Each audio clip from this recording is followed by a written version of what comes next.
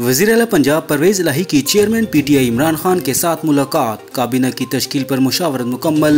इमरान खान ने speaker Punjab assembly के लिए सप्तन खान के नाम की मंजूरी दे दी है। डिप्टी स्पीकर के खिलाफ तहरीक अदम अतमाद लाने का भी फैसला कर लिया गया है।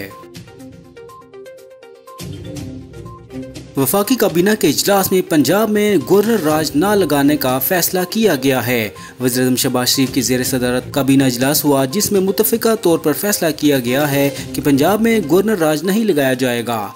इस मामले पर बातचीत करते हुए वफाकी वजरा का कहना था कि मुल्क, मुल्क में बढ़ती हुई महँगाई और अब तक मुआशी सूरत हाल के बायस हुकूमत पहले ही मुश्किल में है।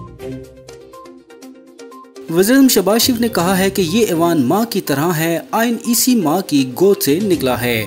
कौमी असम्बली में इजहार ख्याल करते हुए शबाज शरीफ ने कहा कि उन्नीस सौ तिहत्तर का आयन जुल्फकार अली भुगतो की क्यादत में मुतफ़ा तौर पर मंजूर किया गया। आयन ने ही दुनिया भर में पाकिस्तान को मुतहद और मज़बूत मुल्क पेश किया। चेयरमैन तहरीक इंसाफ इमरान खान ने कहा है कि शफाफ इंतबात ही मुल्क को बहरानों से निकालने का वाहिद रास्ता है। शफाफ इंतबात नहीं होंगे तो बहरान और इंतशार मजीद बढ़ेगा।